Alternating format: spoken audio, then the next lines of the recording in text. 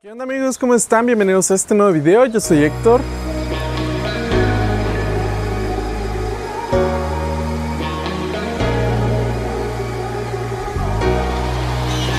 Y bueno amigos, esta es la segunda parte donde les mostramos cómo es que nosotros comenzamos a trabajar con nuestros perros desde que son cachorros. Este entrenamiento es muy importante porque le ayuda a agarrar a los, a los perros confianza al momento de que nosotros los ponemos en mesa, ya sea para bañarlos, ya sea para hacerles limpieza o ya sea para el entrenamiento para pistas. Y también es muy importante amigos porque algunos de estos perros que llevan el entrenamiento cuando sean jóvenes o sean adultos se van a estar presentando en las exposiciones, por lo cual al momento de que sea su primera presentación van a ser perros más seguros, que ya sepan de qué se trata toda esta dinámica o toda esta actividad de las exposiciones y hace que nosotros tengamos un mejor control de ellos dentro de pista, por lo cual tengan una mejor exposición o una mejor presentación. En el video anterior les mostré a este Tempo y a este Archie porque estaba ahí en el, en el momento, por lo cual quise mostrarles cómo es que él ya trabajaba siendo un perro grande y un perro que ya se ha presentado en pistas. Pero en esta ocasión también vamos a entrenar a esta Sharon, ya que con ella he trabajado muy poco, la verdad es que la he tenido muy consentida porque como les dije en el video donde se los presenté. Ella está viviendo conmigo dentro de casa y la verdad es que la consiento mucho, por lo cual no le he comenzado a dar entrenamiento. Entonces esta sería prácticamente su segunda o tercera vez que, que la entreno. Entonces voy a traer a Sharon y voy a traer a este tempo. Y bueno amigos, ya está aquí Sharon, como la ven, la verdad que está súper bonita, me gusta mucho el desarrollo que está teniendo. En aquel video donde se las presenté, la verdad es que se mostraba más delgada y ahorita está comenzando a agarrar un poco de cuerpo. Ah, claro, no es que el Bulldog francés sea un perro gordo, sea un perro masivo como el bulldog inglés, pero sí debe tener cierta corpulencia y pues a lo correspondiente al bulldog francés sí estaba un poquito baja de peso, pero ahí va. La verdad es que me gusta mucho ya el peso que tiene actualmente. Y amigos, en aquel video hubo una persona que me hizo el comentario de que tenía rabo y que no correspondía al estándar del bulldog francés. Eh, yo visualicé en su foto de perfil y el bulldog y él tiene un bulldog francés, pero ese es un bulldog francés exótico. Entonces lo que yo le decía que lo que correspondía al bulldog francés al estándar ante la FCI, que es la Federación Sinológica Internacional, marcaba que si tuvieran eh, rabo y de hecho el dibujo que hace ilustración al bulldog francés muestra a un bulldog francés con rabo, por lo cual pues sí le comenté esto a esta persona. Digo, desconozco cuál sea el estándar que manejen los exóticos, pero en cuanto al bulldog francés estándar, sí, sí tienen rabo los, los, los, los perros, pero también hay, hay perros dentro del estándar que tienen el rabo más corto. Pero bueno, ahora sí comencemos con el entrenamiento de esta Sharon. Como la ven, la verdad es que ya está más tranquila. Ya la bañé un par de veces. Como les digo, ya también trabajé con ella un par de veces. Entonces ya ahorita ya debe estar más tranquila. Lo que les había dicho en los videos anteriores, acaricien la del cuello, acaricien la del cuerpo y lentamente acomoden la de la forma que quieren. Ahorita principalmente es que, que agarre la pose. Vean cómo se sienta. Es normal, no se preocupen. Sharon. Ey, ey, no Sharon. Así.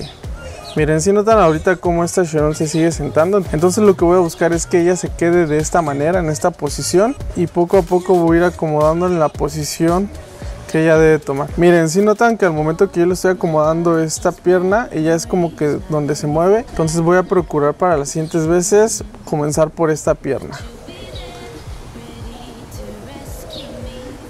Y ahí está. Y ya, una vez que la tenemos en la posición, vamos a acariciarla. Vamos a, a dar un pequeño masaje en el cuello. Eso es, Sharon. Eso es. Muy bien, Sharon. Ey, no. Tenemos que evitar eso, amigos, que ella se siente, porque nosotros lo que buscamos es que se quede paradita durante el tiempo que nosotros se lo pidamos. Porque imagínense, es una perrita que ya está en pistas y que se la estás presentando al juez y se sienta, pues no es malo, no es como que te van a descalificar, pero lo ideal es que la perrita sepa presentarse en pistas. Por eso es que debe de haber un entrenamiento previo. Eso es, Sharon, muy bien. Por lo pronto va a ser todo el entrenamiento con esta Sharon y ahora voy por tempo.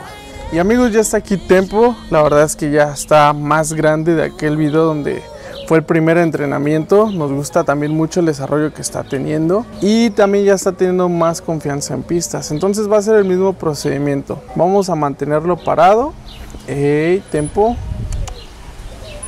Eso es.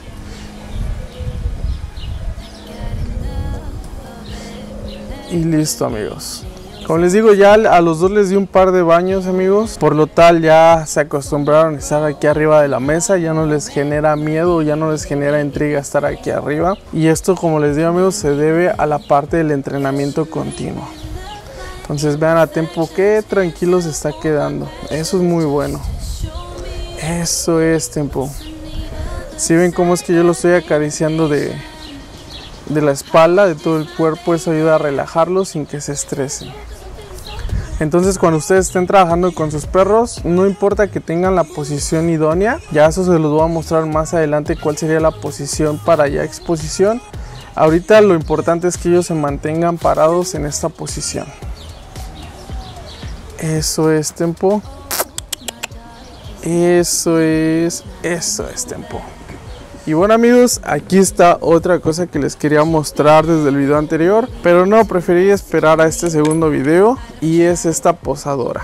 Vean amigos, es una caja de madera que tiene estas placas metálicas y tiene estas patitas que tienen estos imanes en la parte de abajo. Y amigos, así como lo dice su nombre, nos ayuda a enseñar a posar a los, a los perritos desde que son cachorros hasta que son adultos, ya que tiene un amplio espacio para moverlas. Puedes poner un perro grande que que cubra toda esta distancia.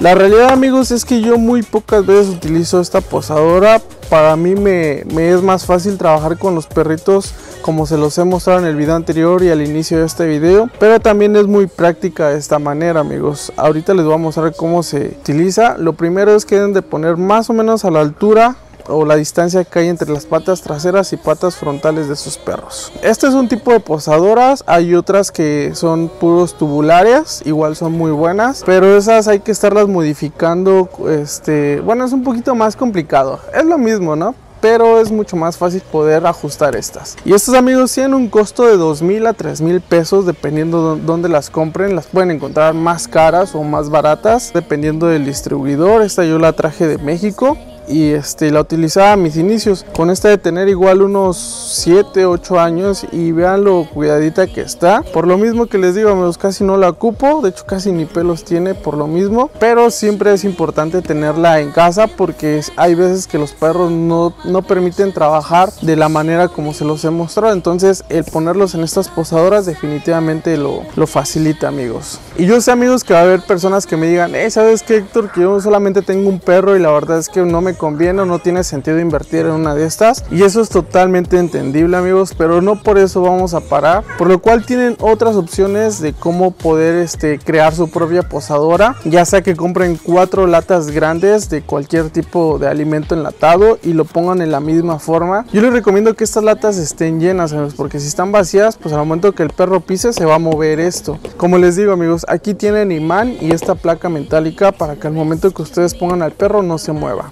otra manera también de improvisar una posadora puede ser con cuatro ladrillos. Tal vez parten dos ladrillos a la mitad y ya los ponen en esta misma posición y como son pesados también más difícilmente se van a mover. Entonces amigos no se estresen si no tienen una de estas, si no la pueden comprar o cual sea la situación. Tienen manera de cómo improvisar y va a funcionar exactamente igual amigos. Y amigos la puse a la distancia correcta de, de lo largo del cuerpo de tempo pero no a la a la amplitud que tiene las patas frontales y a las patas traseras. Esta es la primera vez que vamos a poner a tempo en esta, en esta posadora, por lo cual no va a ser fácil que luego luego se, se pose. Pero de igual forma amigos, es trabajo. Eso es tempo.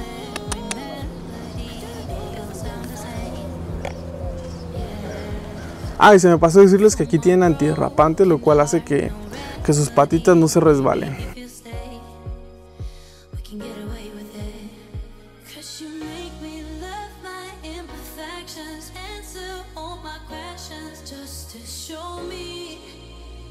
Vean qué bonito está comportando Tempo y como les digo la verdad es que sí es más fácil posar a los perros de esta manera pero como les decía hace un momento amigos, yo prefiero posarlos como les enseñé en el video anterior y al inicio de este video. Me hace para mí tener un mejor control para cuando lo esté presentando en la posadora real.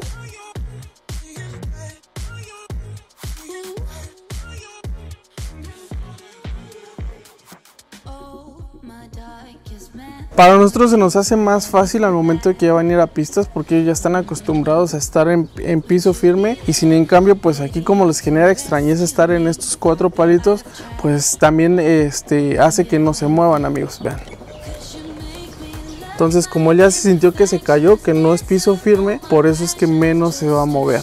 Y sin en cambio cuando yo lo pongo en piso firme, él se detiene por voluntad, porque sabe que tiene que estar tranquilo y no por miedo a caerse. Entonces vean a tiempo qué bonito está trabajando. Y díganme en los comentarios qué tal les parece el desarrollo de Tempo. Ya ahorita está por cumplir tres meses y nos encanta lo que está desarrollando. Eso es Tempo. Y ahora vamos a intentarlo con Sharon. Yo la verdad pienso que va a ser un poquito más complicado porque ella sí es más nerviosa. Este Tempo es más seguro. Veanlo de hecho. Hey, Sharon. Eso es Sharon. Eso es, Joan. Eso es.